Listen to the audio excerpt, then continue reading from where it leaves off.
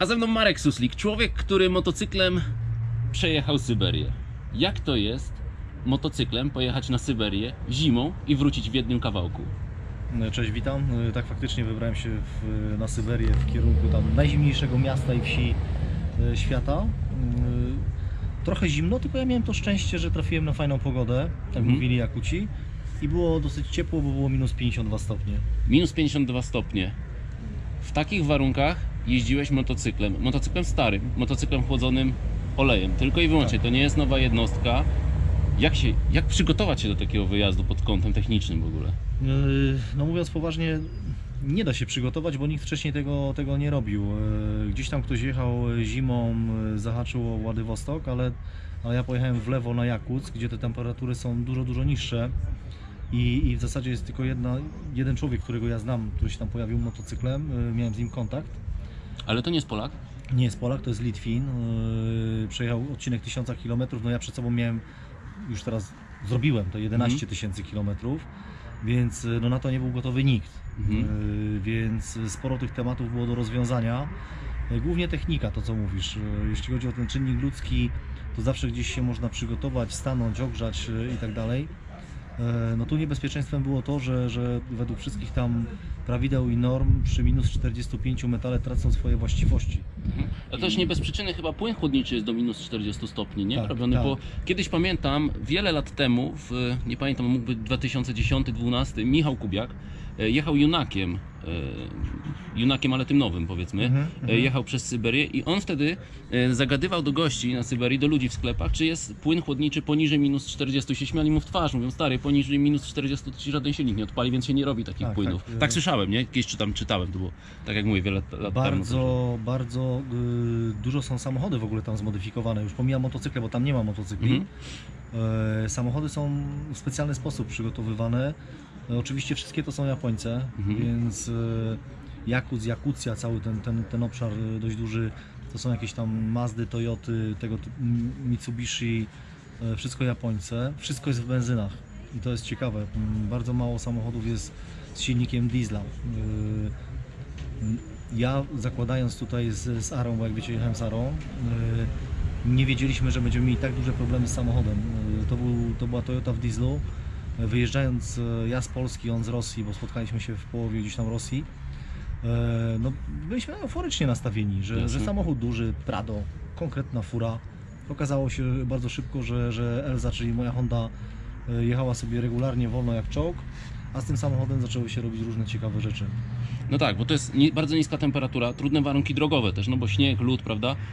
I teraz ty jedziesz motocyklem, tak jak już mówiłem na samym początku, leciwym, ale przygotowanym do tego, tak? Bo ty nie pojechałeś na wariata, wcześniej No tak. zrobiłeś rekonesans, tak? Żeby się przygotować merytorycznie przede wszystkim i sprawdzić, czy jest taka możliwość, żeby zimą pojechać. Jakie zmiany poczyniłeś w tym sprzęcie? Bo podejrzewam, że to nie są małe zmiany. Tak, to, było, to, to, to akurat był taki kluczowy, kluczowy element, gdzie nie do końca wszyscy rozumieli, dlaczego ja rok wcześniej poleciałem tym samolotem do Jakucka. No właśnie i polegało to na tym, żeby porozmawiać z tymi miejscowymi Mhm.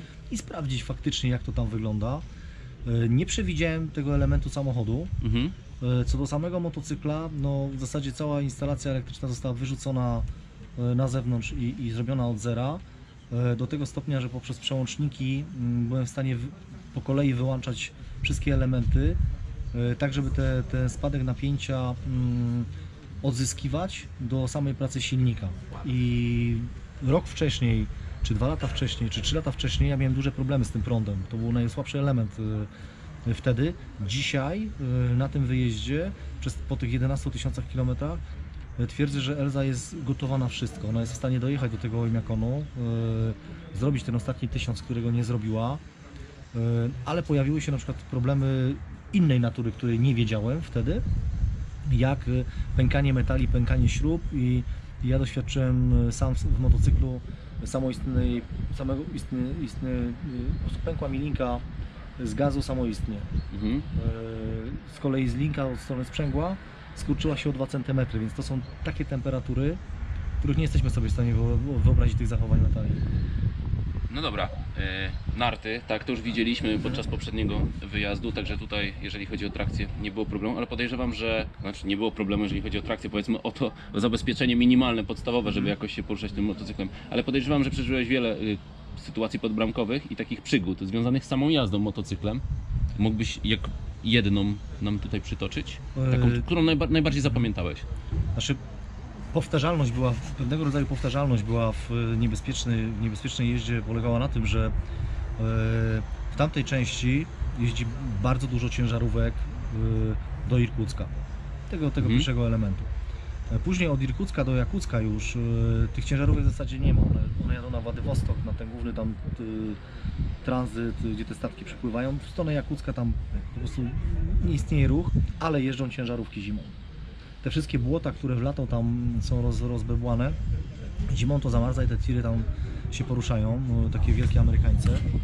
I naj, najbardziej niebezpiecznym elementem to było to, że w Elzie, i to też mówiłem jak, jak jechałem wtedy na Nordka dwa lata temu, zamarzają hamulce poprzez, przez, poprzez to, że się... Tłoczki, tak? Tak, długo się jedzie, kompletnie się ich nie używa, Okej. Więc to po prostu zamarza. Bębny to już w ogóle tam zamarzły, a z przodu hamulec, e, gdzie, gdzie starcza, tłoczki zamarzają i tych hamulców jest brak. I e, cały widz polegał na tym, że te ciężarówki jadą środkiem drogi. Bo e, jadąc przez tajgę, tam jest bardzo wysoko, ta droga jest jakby taka nasypana tym śniegiem i one się poruszają środkiem drogi. Myśmy byli kompletnie niewidoczni. Ci Rosjanie jakby udawali ś- ślepych. Oni mnie nie widzieli w zasadzie. Więc te tumany śniegu, które, które są i to można tam zobaczyć u mnie na filmach, powodowały, że ja musiałem zjeżdżać na bok i asekurować się na przykład hamowaniem, gdzie się szybko orientowałem, że tych hamulców nie było, więc e, po jakimś czasie e, musiałem kolejny czynnik załączyć, czyli co chwilę naciskać gdzieś ten hamulec. Mm, Kontrolne użycie. Tak, żeby te kontrolne użycie powodowało, że te hamulce były gdzieś gotowe e, do jazdy. No miałem ten plus, że mam te narty i te narty w zasadzie powodują, że, że trudno jest się tym motocyklem wywrócić, ale y, z kolei można szybko zrobić bączka. Ja tam pokazywałem na którymś z filmów, jak driftowałem tym Mhm. motocyklem, Widziałem, widziałem. więc to jest y, kolejny taki element, gdzie się przyhamuje przednim kołem, one chce się wyłożyć, Mhm. zarzuca ci tyłem na nartach i robisz drift. Tylko ten drift robisz pod, tego, pod tą ciężarówkę. No tak. Więc to było bardzo niebezpieczne. Nie? Generalnie to ciężarówki w Rosji. Mhm. Słuchaj, a czy, czy w tych wyprawach, mówię o zimowych wyprawach, jest jeszcze miejsce na przygodę motocyklową? Czy to jest wyprawa motocyklowa, czy to już jest dziedzina sportu jakaś, te wyjazdy? Bo to wielu, oso- wiele osób pewnie zadaje sobie pytanie, po co? Jakby, wiesz, od tego wychodzę. E, powiem tak, e, po tym przejeździe e, w tym roku powiem tak, chyba się buduje jakaś dziedzina sportu. Okej. E, To wymaga pewnego przygotowania, mm, to wymaga pewnego zaangażowania, e, pomijam środki, Mhm. e, sprzętu, e, człowieka. Gdzieś, nie chcę tego nazywać jeszcze spo- sportem ekstre- ekstremalnym, ale dla mnie to już jest pewna, pewien, pewien rodzaj sportu ek- ekstremalnego. To już nie ma nic wspólnego z taką stricte jazdą zimową, jak jeździmy na Elefantem Trefem na Tak przykład, gdzie się przygotowywujemy oczywiście i tak dalej, bo to każdy ma różne poczucie tego zimna, ale tu już idziemy, idziemy trochę w taki, taki hardcore, gdzie, gdzie to musi być zaplanowane, trochę przemyślane. Tutaj zrobienie czegokolwiek na partyzanta, mm, no to, to może się mocno zemścić. Mhm. Ym, bo tak, z jednej strony mm, nie, chcia, nie chciałbym powiedzieć, że mm, ta wyprawa się nie powiodła, bo nie dojechałeś do celu, bo jak w moim, moim mniemaniu jak najbardziej się po, powiodła, bo dojechać w to miejsce to już jest po prostu mm, najwyższa półka, tak? Y, Ale czy będziesz próbował jeszcze raz zrobić, osiągnąć ten cel? Jako, Mm. że mówimy o dziedzinie sportu? Tak, powiem w ten sposób. Sam odcinek Jakucka i Ojmiakonu yy, bardzo chętnie bym powtórzył. Mhm. Yy, Przerzucając dzisiaj motocykl yy, do Jakucka i jadąc z Jakucka do Ojmiakonu pojechałbym. Wiem dzisiaj, że, że mimo tego, że ja się przygotowywałem w jakiś tam sposób, to jednak to była amatorszczyzna. Ludzie, którzy się tam pojawiają, ekspedycje, które się tam pojawiają, gdzie chodzą na nogach, jeżdżą na rowerach, czy biegną, czy jadą samochodami, mają potężne zaplecza. Potężne zaplecza samochodów za sobą, gdzie, gdzie jadą medycy, bo tam są, dochodzimy już do tego stopnia Mhm. e, obrażeń, gdzie jedzie sprzęt techniczny, żeby cię zabrać bardzo szybko stamtąd, bo, bo godzina w takim mrozie bez ruchu oznacza, że zamarzasz. Więc chętnie bym to powtórzył. Mhm. E, może nie powtórzył, tylko dokończył, bo to jest bardziej w kategorii dokończenia. Dla mnie planem minimum był Jakuc i, i to się udało i, i ja osobiście sobie to, to tutaj traktuję w kategorii e, tego, co chciałem zrealizować, tak? E, Mhm. Nie jakiegoś tam wyczynu i tak dalej. Chciałem to po prostu zrobić i to zrobiłem. E, Zwrócę tylko uwagę na jedną rzecz, bo o tym my nie pamiętamy. Mm, Ja miałem takie warunki, że im jechałem dłużej, czyli im byłem bardziej zmęczony, tym miałem trudniejsze warunki. I o tym trochę zapominamy. Czyli im dalej, Czyli tym... im dalej, tym byłem bardziej zmęczony, bo już były Okej. kilometry narastały, a warunki, z którymi się miałem mierzyć, ja dopiero w nie wjeżdżałem. Okej. Czyli była taka odwrócona Czyli lepiej byłoby Trasa. wylądować tam samolotem Jaką przy- i wrócić. do Polski, bo masz I wrócić dodatkową do motywację, że wracasz Dokładnie, cały czas bo- psychiki, nie? i temperatura ci wzrasta. Czyli jedziesz w plusy, plusy, tam minus 40, Mhm. minus 30, minus Tak, 20, tak, tak, tak. a ja miałem coraz trudniej, coraz dalej, coraz zimniej, więc tym bardziej ta, ta, ten wyjazd był taki obarczony takim jeszcze większym takim mm, ekstremalizmem bym to nazwał. Okej. Jeszcze, no wiesz, no, no jeździsz sam, jeździmy sami, wiemy, że po zupełnie inaczej się czujemy po dwóch dniach jazdy, a inaczej się czujemy po tygodniu jazdy. Oczywiście. Więc ja przy tych dwóch, ponad dwóch tygodniach jazdy już coraz zimniej, też byłem coraz bardziej zmęczony, ale paradoksalnie, i to Wam chcę powiedzieć, e, coraz większa adrenalina się budowała, coraz więcej człowiek był przygotowany, więc Mhm. ta, te, te, ten organizm się przesunął w taką wytrzymałość powiem, niewyobrażalną. No, ja miałem tam kilka dni, gdzie przy minus 30 paru stopniach chodziłem w krótkim rękawku. Oczywiście chwilowo gdzieś tam do motocykla coś zrobić, tak. coś przejść. No ludzie na mnie patrzyli dosyć specyficznie, żeby nie powiedzieć, że, że jeszcze, Dziwili się. jeszcze tak, jeszcze dziwniej. Y, Ale to pokazuje, że, że jak masz tą aklimatyzację zrobioną, to jesteś w stanie te bariery mocno przesuwać. Mhm. Wyprawa motocykl, Marek Suslik. Marek Suslik musi być odpowiednio ubrany oczywiście, żeby pojechać w takie miejsce, bo, bo nie wyobrażam sobie pojechać w zwykłym ubraniu trójwarstwowym, podstawowym, nawet w temperaturze minus 10 stopni e, przez Polskę. No, to, już jest, to już też może być niebezpieczne dla, ym, dla normalnego motocyklisty, który na co dzień nie jeździ. Jak Ty przygotowałeś się do, do tych warunków, jeżeli chodzi o sprzęt Mhm. motocyklowy? Problem, który, który należało rozwiązać i który, który w zasadzie jest do rozwiązania za każdym razem, to jest to, że jazda na motocyklu to jest, nazwijmy to sport statyczny. Siadasz, jedziesz, nie ruszasz się kompletnie. Ktoś biegnie, ktoś chodzi, ktoś jedzie na rowerze, ktoś y, płynie, m, cały czas gdzieś jest ruch, wytwarza się ciepło. Na motocyklu tego nie ma. Y, W tym roku y, wymyśliłem sobie taki patent, będąc na, na, na pewnym zlocie takim bushcraftowym ludzi tam z lasu i tak dalej, gdzie, gdzie oni zupełnie innych technik używali do przetrwania w tym lesie, mm, podpatrzyłem trochę, że chodzą w takich wełnianych ubraniach. Tak jak ty masz flanelę, to oni Mhm. chodzą w wełnie. Yy, I, i dogadałem się z, z jednym z producentów yy, Chmura Manufaktura, którzy robią te wełniane rzeczy. Czy nie uszyliby mi taki, yy, tak sobie to wymyśliłem sam, takiej, takiej odzieży technicznej, czyli pod kombinezon motocyklowy, Mhm. z tej wełny Merynosa. Oni powiedzieli oczywiście, że, że nigdy tego nie robili. E, powiedziałem im, gdzie jadę, więc jakby nie dotarło do końca wtedy do nich, e, co się w ogóle będzie działo. Uszyli to.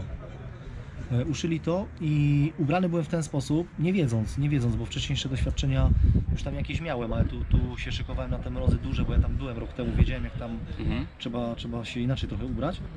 Założyłem odzież termiczną zwykłą, na to nałożyłem, nazwijmy to, tą odzież termiczną z Merynosa, na to kombinezon e, z Klejma, który, który z partnerem zresztą, który, który mi przekazał na ten wyjazd i na to ubranie robocze.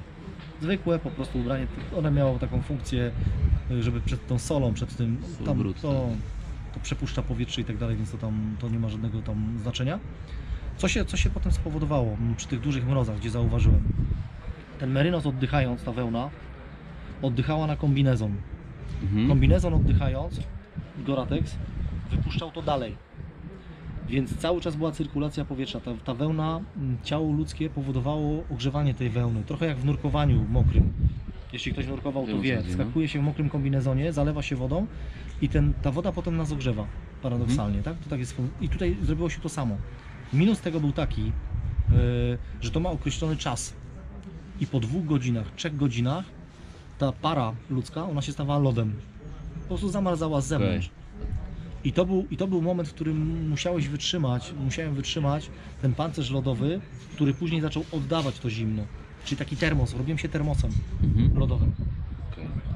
I niestety Syberia jest y, pustym miejscem, tam nic, tam nic nie ma, więc do tych oaz, bo my to tak nazywaliśmy, te oazy, te bary takie malutkie, y, są tam 200-300 km od siebie oddalone, więc ja musiałem wytrzymać od takiej oazy do takiej oazy. I w zależności od tego, jak było... 200-300 km. Tak, To jest dosyć sporo. to jest bardzo dużo. To Ja zimą jest- jak jeżdżę, tak, no w normalnych ubraniach nieprzygotowany to 100 km, tak z rozsądku robię sobie przerwę właśnie, żeby się poruszać. No tam, Nie? tam To- właśnie tam te zatrzymanie to jest, no nie możesz się tam po prostu zatrzymać. No tak. naj, naj, najprościej mówiąc nie możesz, więc musisz jechać. E, Ja wskakiwałem do tego baru, ściągaliśmy tą skorupę ze mnie, e, rzucałem to po prostu na podłogę i siedziałem w samej odzieży termicznej, żeby to się tam rozmrażało. Kiedy, kiedy ten cykl się zamienił, ta wełna, to wszystko wciągnęło to ciepło z tego baru, bo te bary są bardzo mocno ogrzewane, tam są duże temperatury, żeby się właśnie ludzie, ci kierowcy ciężarówek e, dogrzewali, bo w tych, tych samochodach mają zimno. E, Zmieniał się ten cykl, czyli znowu to było ciepłe, znowu mogłem wyjechać i znowu mogłem Okej. trwać. I to jest takie, to co mówiłeś wcześniej o tym, o tym sporcie ekstremalnym. To już jest trochę sport ekstremalny, bo już nie, nie masz przyjemności z jazdy jako jazdy, tylko nabierasz przyjemności z, te, z tej walki przetrwania. Po prostu stawiasz sobie jakieś tam cele, które musisz osiągnąć w tej jeździe. Trochę tak Czyli jak, coś z- jak schodzenie po górach. Dokładnie to chciałem powiedzieć. Tak jak, jak jest, nie wiem, e, z alpinizmem, gdzie, gdzie samo te chodzenie nie jest e, satysfakcją dla alpinisty, tylko te prze, przełamywanie tych barier, pokonywanie tego, Mhm. Wiesz, zapięcia po zapięciu, to tutaj kilometr po kilometrze różne problemy się dzieją. Dziękuję Ci bardzo za rozmowę. bardzo. Podejrzewam, że moglibyśmy tutaj jeszcze przed kamerą gadać i gadać i gadać i gadać, no ale miejsce mamy ograniczone. Jasne. E, ja Was zachęcam do obserwowania strony White Wolf, śniegiem po oczach. Tak. Wejdźcie sobie na Facebooku, kliknijcie lubię to i będziecie mogli obserwować kolejne podróże Marka, bo podejrzewam przyszły rok. Przyszły, przyszły, przyszły to tak, jak już jesteśmy przy tym przyszłym roku, yy, chcę się ogarnąć trochę sponsorami, Mhm. chcę poszukać ludzi, którzy ze mną pojadą i w 2020 roku chciałem zrobić Alaskę Alaska. zimą. No Dzisiaj wiem, że samemu jest, będzie to trudno do zrobienia. Mhm. e, z wielu względów tutaj przygotowawczych i, i tam są również temperatury 50 stopni. Alaska. No to tym oto e, optymistycznym akcentem, e, chłodnym, chociaż jest piękne Tak, słoneczko, i kończymy. Trzymajcie się. No i co? Zachęcam Was do obserwowania śniegiem po oczach, obserwowania poczynań Marka na motocyklu. Trzymajcie się, cześć. Pozdrawiam, cześć.